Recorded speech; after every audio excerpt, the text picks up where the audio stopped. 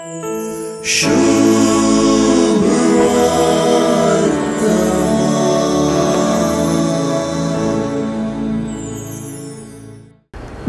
सांगलेली ग्रेस्त पिशाची ओपार अशी सोमता. असली गत म्हण आपणाकच दिरवी पुंजायतेल्यांची पूण देवा हुजीर ग्रेस्त जावन नासलेल्यांची.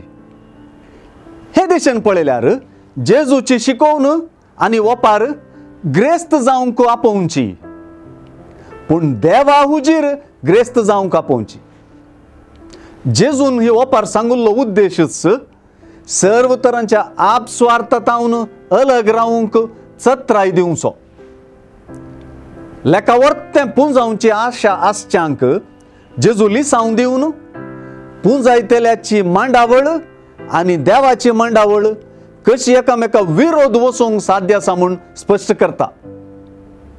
ग्रेस्त मनीस आपणाकच सबार वर्सांक पावशें दास्तान केल्लें जायतें तुका आसा सवकसाय घे का पिये आनी गम्मत मार म्हणटा पूण ताच्या सबार वर्सांचें योजन देव आयचे रातीक हाडून नुल्ल करता.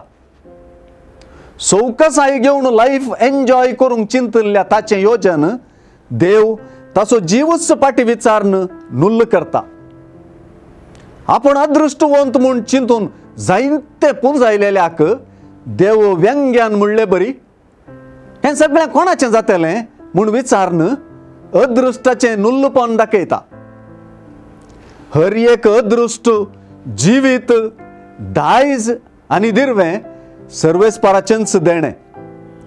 ताचें धणीपण वळखतल्याचेंच ग्रेस्त जिणें आबस्वार्थ संडून सतानितीची भावबांधावपणाची सोडदोड आनी शांतीची अशें सुवार्थेची जिणी जिवंक आसा सुवार्थेचेंच आपोवणें Sure.